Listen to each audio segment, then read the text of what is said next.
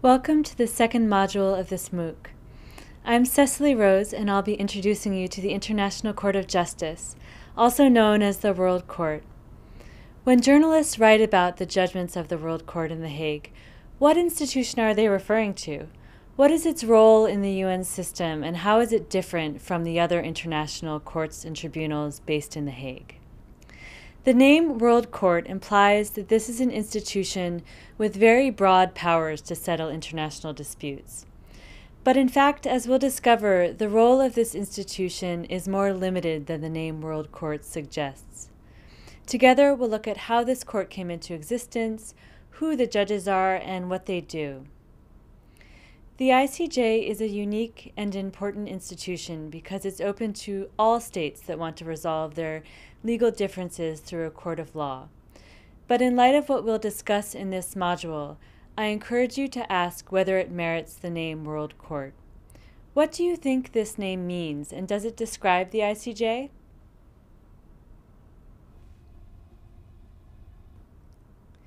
First, how did the International Court of Justice come into existence?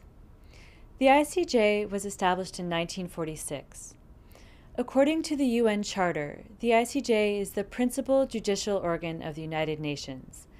This means that the ICJ is the UN's only permanent court available to states that want to settle their disputes peacefully through adjudication. The court has the capacity to resolve disputes concerning a very wide range of issues, because this is how the drafters of the UN Charter designed the court. Since 1946, the court has settled disputes about land and maritime boundaries, the use of force, genocide, the use of nuclear weapons, the protection of the environment, and the immunities of high level government officials and also states themselves. The ICJ can be considered the successor to the Permanent Court of International Justice, which came into existence in 1922 and was associated with the League of Nations. The Peace Palace in The Hague served as the home of the Permanent Court of International Justice, and it is now the home of its successor, the ICJ. The Permanent Court of Arbitration also shares the Peace Palace with the ICJ. So, who are the judges of the, of the ICJ? How do lawyers become judges at this court? The system for appointing ICJ judges has a political element. The UN's two political bodies, the General Assembly and the Security Council, are responsible for electing ICJ judges. Once elected, the judges serve for terms of nine years, this is different from many national systems, where judges often have lifetime appointments. ICJ judges may be re-elected, and many of them serve for more than one term. The ICJ has a total of 15 judges from all over the world. The judges serve in their individual capacities, not as representatives of their states of nationality. In other words, they exercise their independent judgment in deciding cases that come before the court. Even though the judges are independent, the bench still has to consist of judges from different geographical regions, as well as the principal legal systems of the world. In addition, the permanent five members of the UN Security Council are always represented on the court, so that there are always judges from China, France, Russia, the United Kingdom, and the United States. What kinds of jobs have these judges held before their election to the court? The judges come from a range of professional backgrounds. Many served as lawyers in their ministries of foreign affairs or as diplomats. Others were international law professors or judges at international or domestic courts. Some of them had very active legal practices representing states in disputes before the ICJ but as judges at the court, they are, of course, barred from continuing such work. Out of the 15 judges, three of them are currently women Judge Donoghue of the United States, Judge Sebutinde of Uganda, and Judge Xue of China. This may seem like a small number, but the first woman joined the court as late as 1995. Rosalind Higgins, a former international law professor from the United Kingdom, served as an ICJ judge from 1995 to 2009, and from 2006 to 2009, she was the first and so far the only female president of the court. I invite you to think about the extent to which it's important that women participate in the work of the ICJ, whether as judges or counsel for states. Now you know who the judges are, but what do they do as members of the court? The court has two functions. First, it mainly settles disputes between states.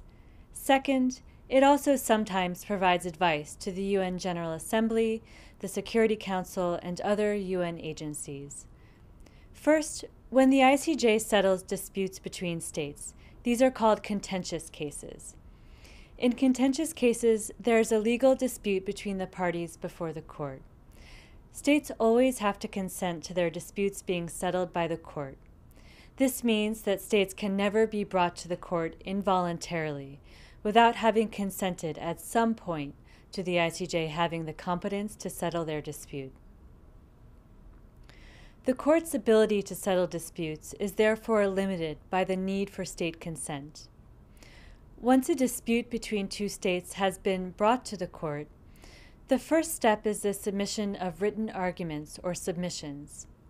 After that, the parties present their arguments orally in the Great Hall of Justice before the bench of judges. Therefore, Georgia respectfully requests the courts, as a matter of urgency, to order the following provisional measures. Madam President, members of the court, I now have the honor to read out to you the final submission of the Russian Federation. Le gouvernement de la République démocratique du Congo prie la Cour de dire et juger Voici les conclusions finales de la Belgique en la présente affaire. Serbia requests the court to adjudge and declare. The Republic of Croatia respectfully requests the International Court of Justice to. Je vais maintenant lire les conclusions finales de la République du Bénin. After the judges have deliberated and come to a decision, the ICJ delivers a written judgment usually about six months after the close of oral proceedings. For these reasons, the Court unanimously finds that it has jurisdiction to entertain the application filed by Australia on 31st May 2010. Two, by 12 votes to 4, finds that special permits granted by Japan in connection with JARPA 2 do not fall within the provisions of Article 8, paragraph 1 of the International Convention for the Regulation of Whaling. When the ICJ issues a judgment in a contentious case, it is binding on the parties. In other words, the parties have a legal obligation to comply with the court's decision. Most of the ICJ's judgments have been respected or complied with by the parties which had to consent to the settlement of their dispute by the ICJ in the first place. The need for state consent therefore limits the court's ability to settle disputes, but it also potentially enhances compliance by states with the court's ruling in a given case. I'll go into more detail about contentious cases in the next video.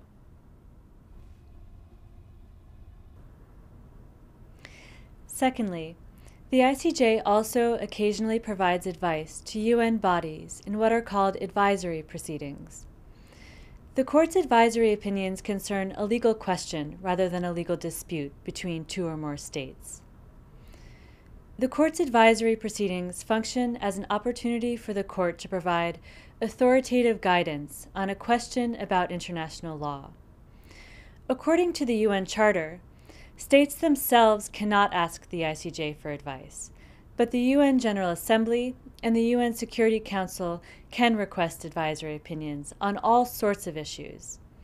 In addition, other organs of the UN and specialized agencies, like the World Health Organization, can request advisory opinions when the General Assembly gives them the authority to do so.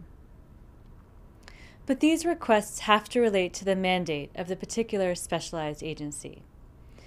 The Court's advisory opinions are non binding, unlike the ICJ's judgments in contentious cases between states.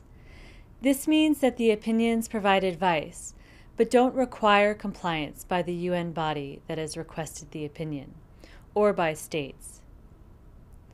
In contrast with the court's docket of contentious cases, advisory proceedings are relatively infrequent. But over the course of the ICJ's history, there have been some very prominent advisory proceedings that have touched on highly political issues such as Kosovo's declaration of independence and the Israeli wall. I invite you to learn more about how advisory proceedings relate to international politics in video 4 of this module. In this video, I've introduced the International Court of Justice, which has been in existence since 1946 and consists of 15 judges from around the world. The court performs two functions. It settles disputes between states in contentious cases, and it provides advice to UN bodies in advisory proceedings.